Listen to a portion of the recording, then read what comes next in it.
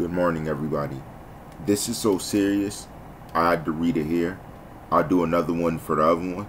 But dozens of suspicious white powder letters sent to state lawmakers.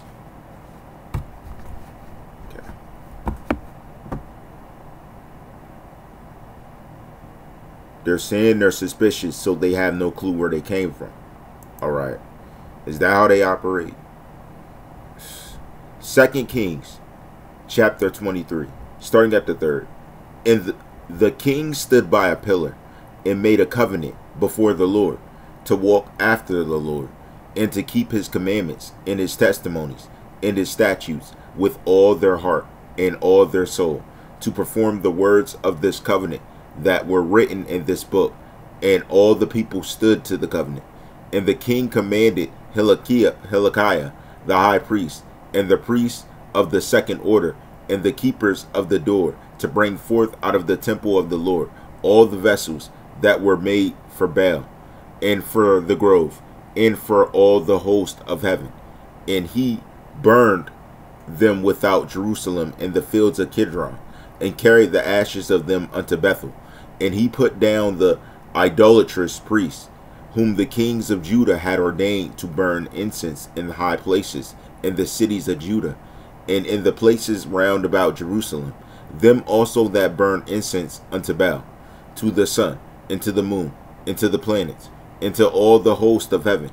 And he brought out the grove from the house of the Lord without Jerusalem unto the brook Kidron, and burned it at the brook Kidron, and stamped it small to powder, and cast the powder thereof upon the graves of the children of the people. And he brake down the houses of the Sodomites that were by the house of the Lord, where the women wove hangings for the grove. And he brought all the priests out of the cities of Judah, and defiled the high places, where the priests had burned incense, from Geba to Beersheba, and break down the high places of the gates that were in the in the entering in of the gate of Joshua, the governor of the city, which were on a man's left hand at the gate of the city. Nevertheless, the priests of the high places came not up to the altar of the Lord in Jerusalem, but they did eat eh, of the unleavened bread among their brethren. They're having a celebration breaking bread.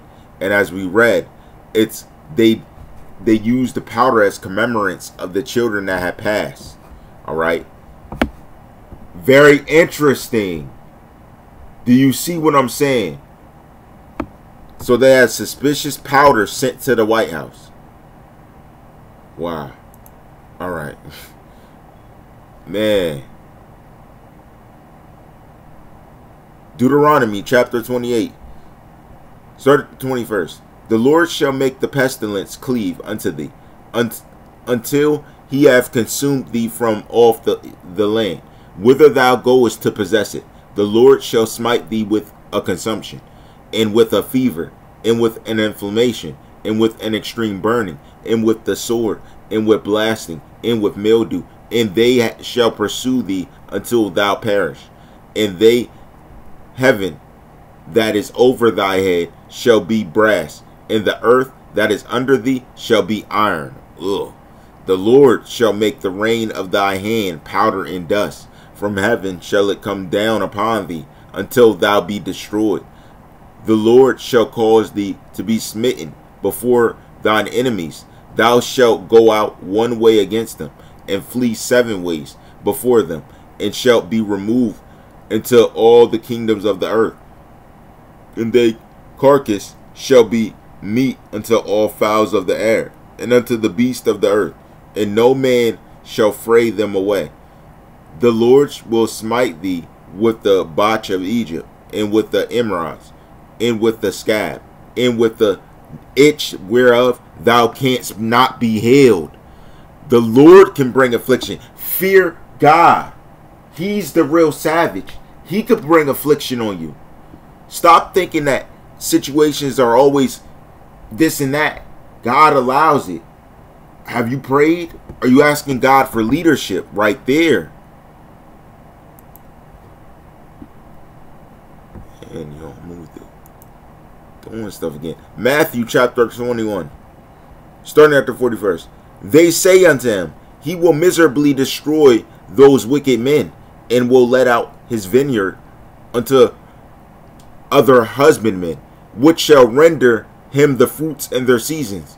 Jesus saith unto them, Did ye never read in the scriptures? The stone which the builders rejected, the same is become of the land of the coroner.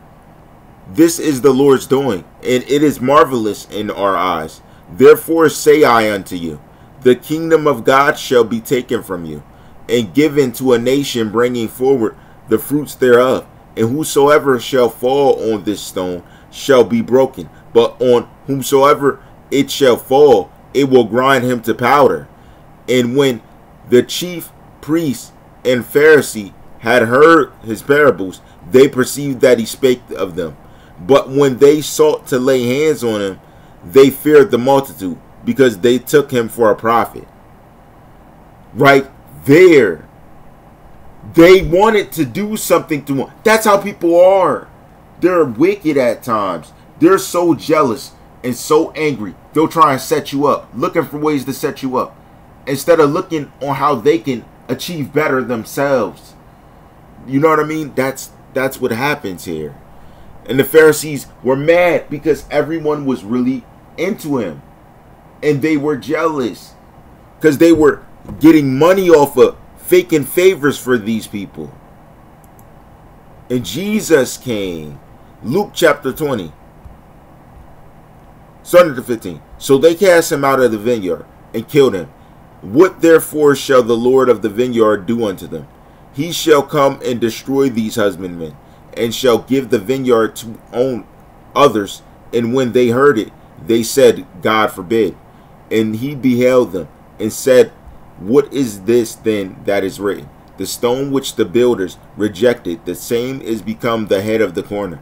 Whosoever shall fall upon that stone shall be broken, but on whomsoever it shall fall, it will grind him to powder.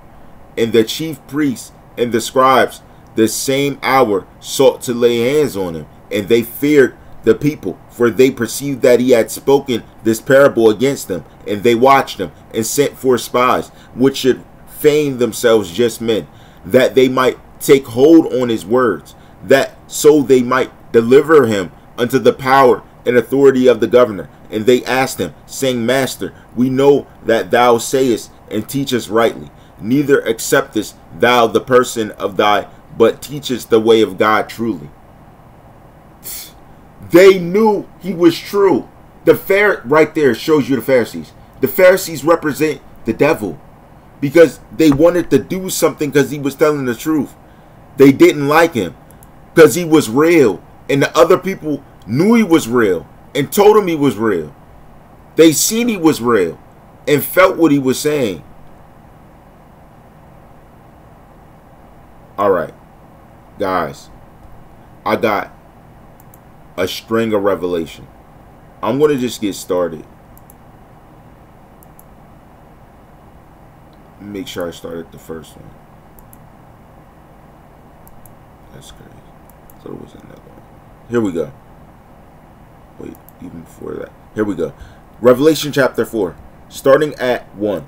After this I looked, and behold, a door was opened in heaven and the first voice which I heard was as it were of a trumpet talking with me, which said, Come up hither, and I will shew thee things which must be hereafter. And immediately I was in the spirit.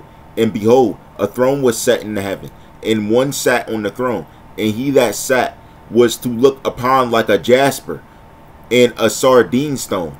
And there was a rainbow round about the throne, and sight like unto an emerald. And Round about the throne were four and twenty seats, and upon the seats I saw four and twenty elders sitting, clothed in white raiment, and they had on their heads crowns of gold. And out of the throne proceeded lightnings and thunderings and voices, and there were seven lamps of the fire burning before the throne, which are the seven spirits of God.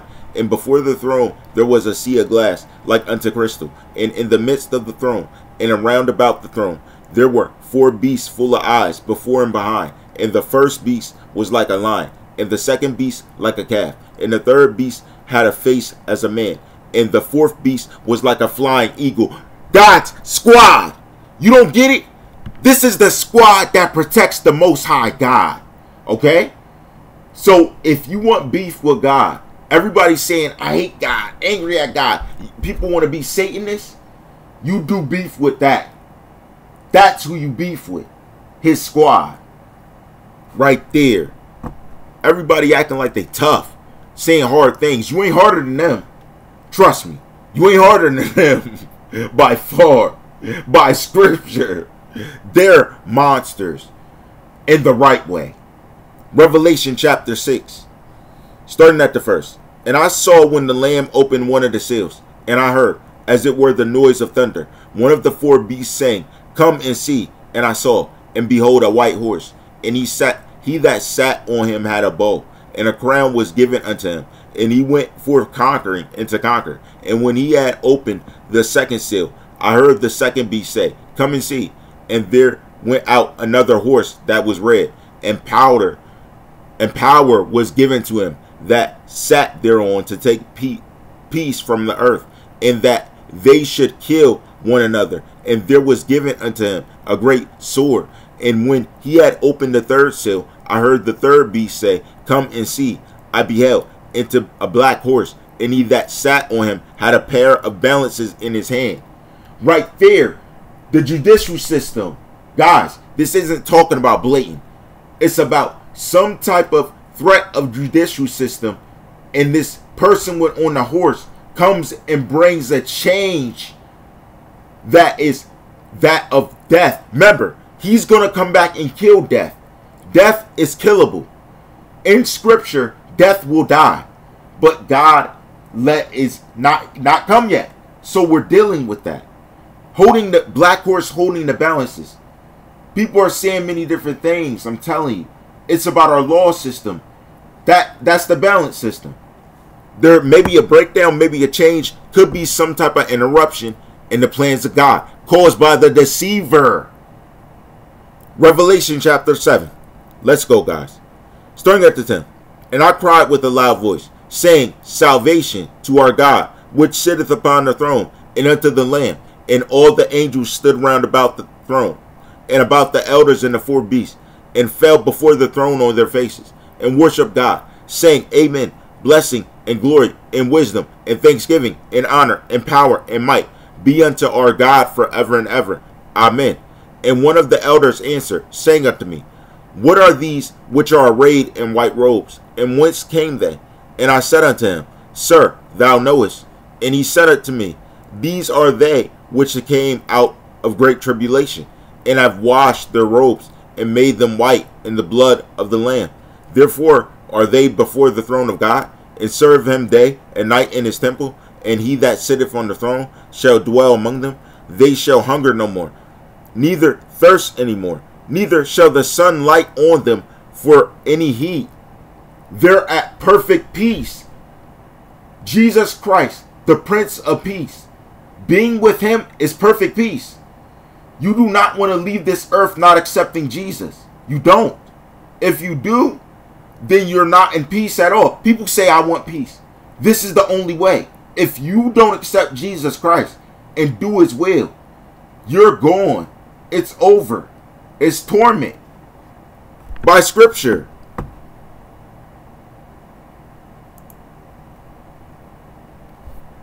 Give me a second. Oh, I'm about to. Alright. Revelation 14.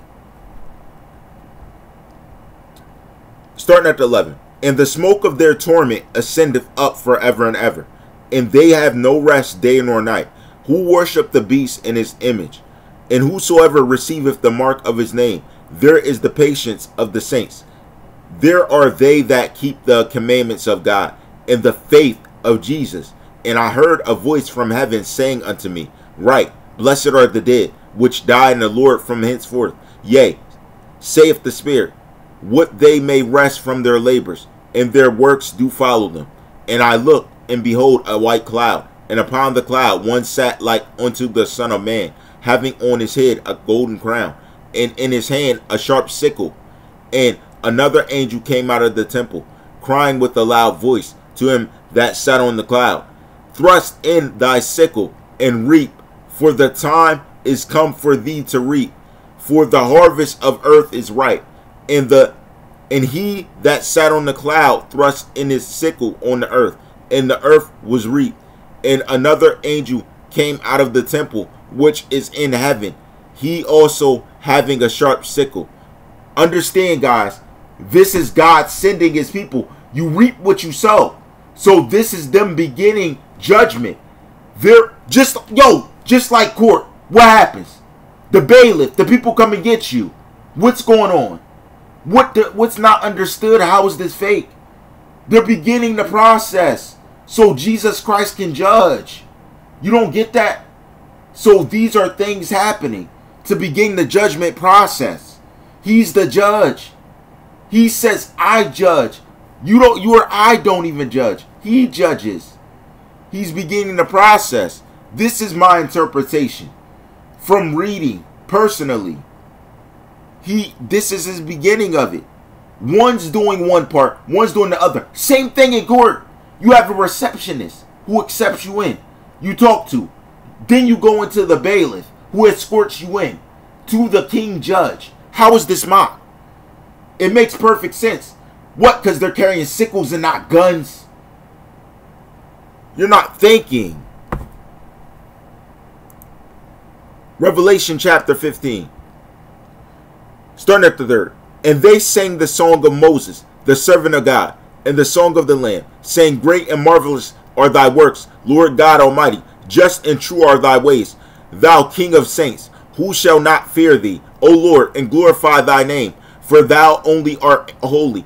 The all for all nations shall come and worship before thee, for thy judgments are made manifest.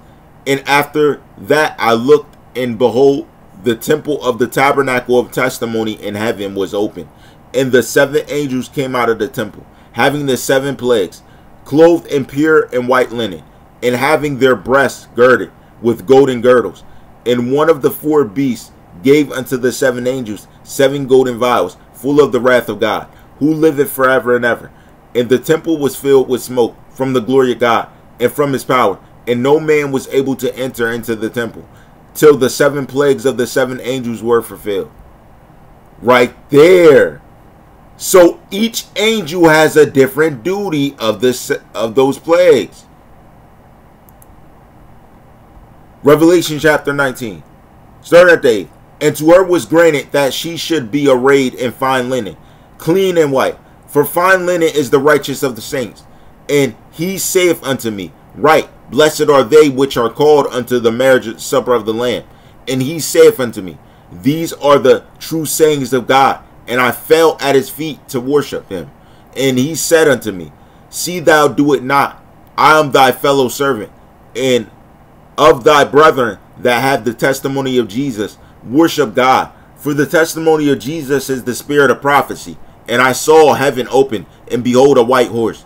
And he that sat upon him was called faithful and true, and in righteousness he doeth judge and make war. Right there, he judges and makes war. Everybody else is causing these things to happen. They're cleaning up. The one opens up like a da da. He can judge and make war. All right. His eyes were as a flame of fire, and on his head were many crowns, and he had a name written that no man knew but he himself, and he was clothed with a vesture dipped in blood, and his name is called the Word of God.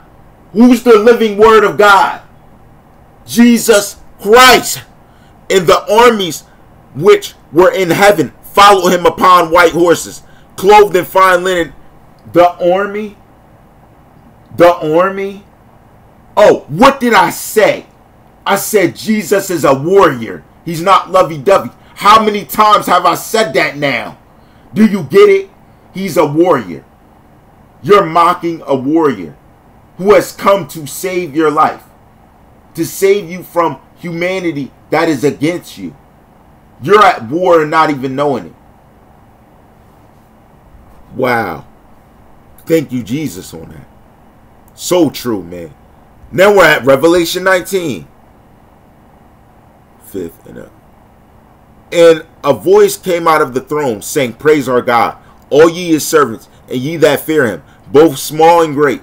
And I heard it as it were the voice of a great multitude, and as the voice of many waters, and as the voice of many mighty thunderers, saying, Alleluia! For the word the Lord God omnipotent reigneth. Let us be glad and rejoice, and give honor to him. For the marriage of the Lamb is come, and his wife had made herself ready. And to her was granted that she should be arrayed in fine linen, clean and white. For the fine linen is the righteousness of saints. And saith unto me, Right, blessed are they which are called unto the marriage supper of the Lamb. And he saith unto me, These are the true sayings of God. And I fell at the feet to worship him. And he said unto me, See thou do it not. I am thy fellow servant, and of thy brethren that have the testimony of Jesus. Worship God. For the testimony of Jesus is the spirit of prophecy. And I saw heaven open, and behold, a white horse, and he that sat upon him was called faithful and true, and in righteousness he doeth judge and make war. Yo, you want to know why it's funny? Everybody hating Jesus, saying I serve God. You worship Jesus to make it to God. If you don't know Jesus, God won't know you. Right there. Confirming everything I said to all these dudes. All y'all talking, every one of y'all, from front to back, top to bottom, state to state, all of y'all talking. I said that, and now I just read it. So, do you believe in the Bible or not? Right there. I read the Bible. Anybody who says they believe the Bible and don't believe Jesus is the Messiah,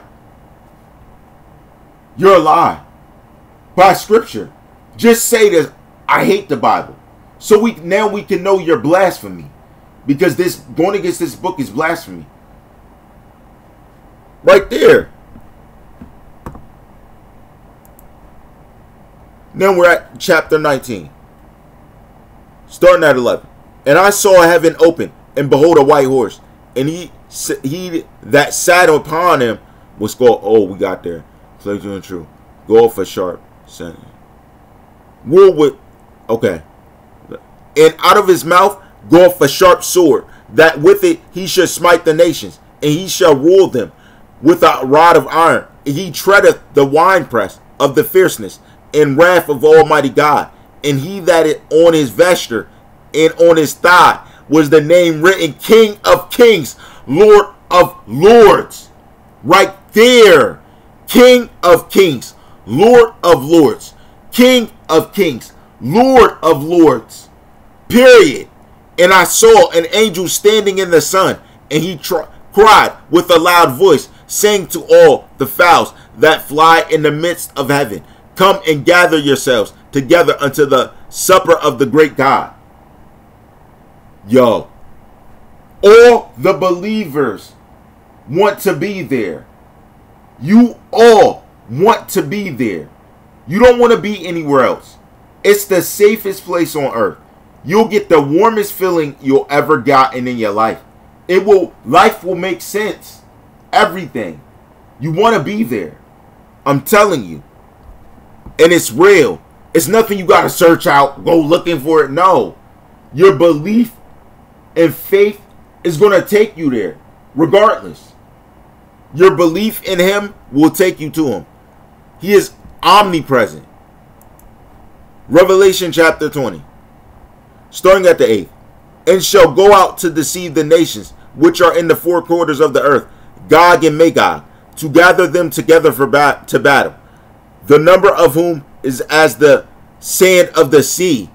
And they went up on the breadth of the earth, encompassed the camp of the saints about in the beloved city, and fire came down from God out of heaven and devoured them.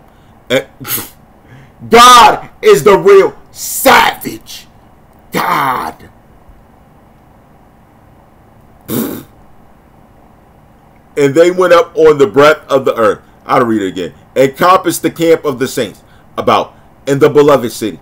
And fire came down from God out of heaven and devoured them and the devil that deceived them was cast into the lake of fire and brimstone, where the beast and the false prophet are, and shall be tormented day and night forever and ever. And I saw a great white throne, and him that sat on it, from whose face the earth and the heaven fled away, and there was found no place for him.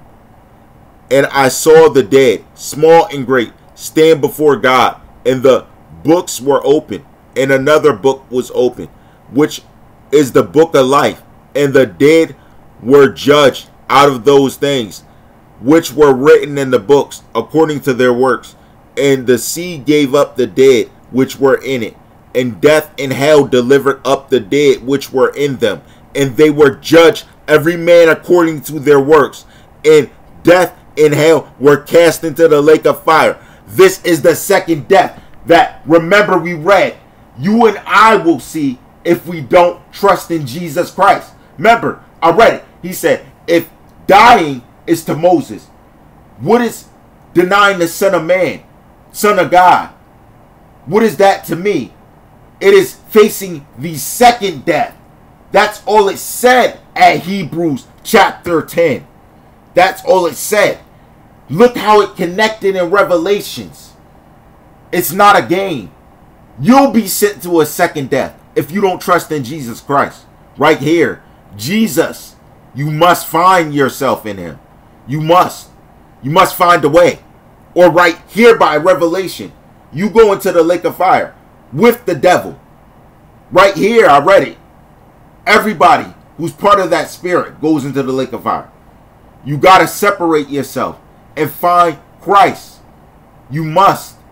You got to separate yourself from thinking in this world. In terms of Jesus, you must think by scripture. This is a White House reading. How did I make this up? Let me see how much time. This is a fact. One more I'll give you. King of Solomon, chapter 5. Starting at 7. The watchmen that went about the city found me. They smote me. They wounded me. The keepers of the walls took away my veil from me. I charge you, O daughters of Jerusalem, if ye find my beloved, that ye tell him that I am sick of love, that is that thy beloved more than another beloved, O thou fairest among women, that is thy beloved more than another beloved, that thou doest so charge us. My beloved is white and ruddy, and ruddy, the chiefest among ten thousand. His head is as the most fine gold. His locks are bushy and black as a raven. His eyes are as the eyes of doves by the rivers of waters, washed with milk and filthy and fitly set. His cheeks are as a bed of spices, as sweet flowers. His lips like lilies, dropping sweet smelling myrrh. So we're examining them, checking out. Now understand, it's poetry. It's like poetry.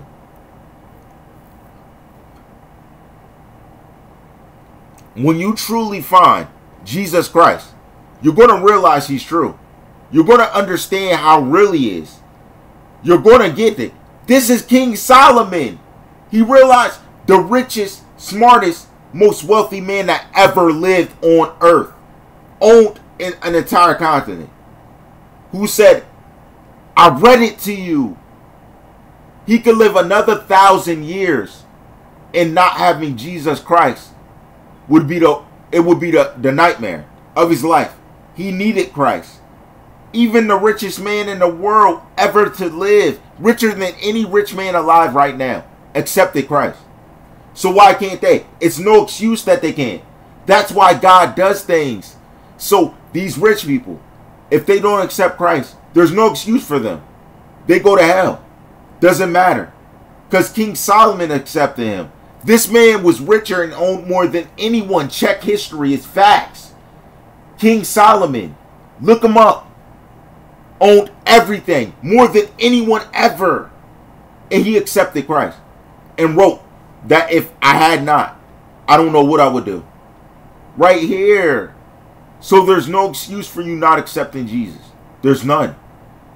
You go to torment. No matter how rich, no matter how poor, you got to find Christ. You must. That's the best ending to you understanding what's going on. This was the powder to the White House. How is this mob?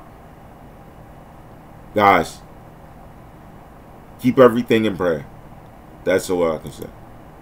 Keep everything in prayer. I'll give you this next chapter. Acts chapter 1, starting at the 7. And he said unto them, It is not for you to know the times or the seasons which the Father had put in his own power, but ye shall receive power. After that, the Holy Ghost is come upon you, and ye shall be witnesses unto me both in Jerusalem and in all Judea and in Samaria and unto the uttermost part of the earth. And when he had spoken these things, while they beheld, he was taken up, and a cloud received them out of their sight. And while they looked steadfastly toward heaven as he went up, behold, two men stood by them in white apparel, which also said, Ye men of Galilee, why stand ye gazing up into heaven? This same Jesus, which is taken up from you unto heaven, shall so come in the like manner as ye have seen him go into heaven.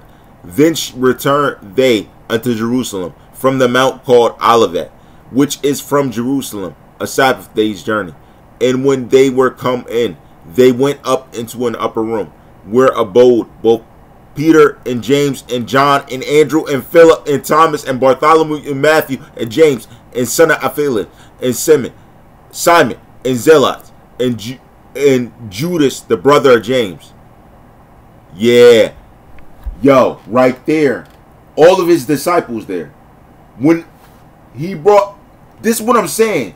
He brought up Enoch the same way. You guys say it, and he called them different names and right there were all the disciples. So this the book of Enoch don't need to be here. That's all that matters. Is Enoch made it into heaven? Like you need to. Anybody focusing on the Enoch thing, they're alive from hell. Focus on this. Right there in scripture. He had me do that. How can I make that up? That's God. Focus on this. Yeah, Enoch made it to heaven. Yeah, he brought him up. Stop looking for the book of Enoch. Focus on the Bible. Jesus Christ. Anybody doing otherwise is wicked. Do not follow them. They're leading you to hell. Psalms chapter 68, starting at the 11. The Lord gave the word. Great was the company of those that published it. King of. Look, yo. Yo. Remember, he's saying King James evil conscious conscious. What's up? What's up? The Lord gave the word.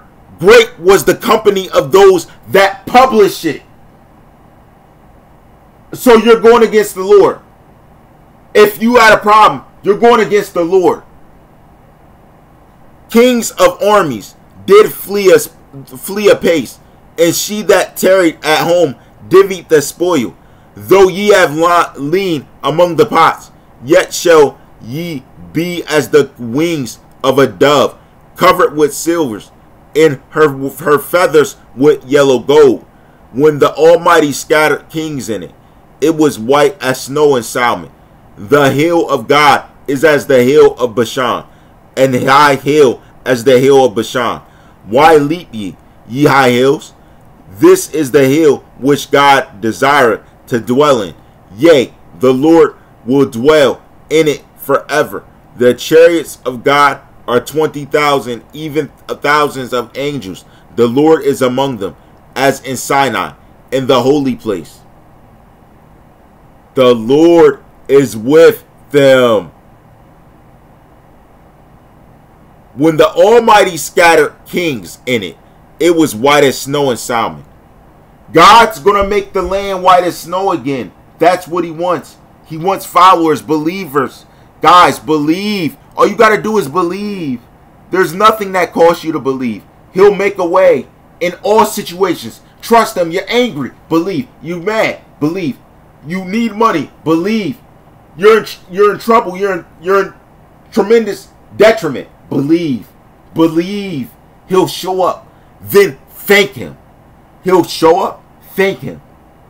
You'll thank him because he made it work for you.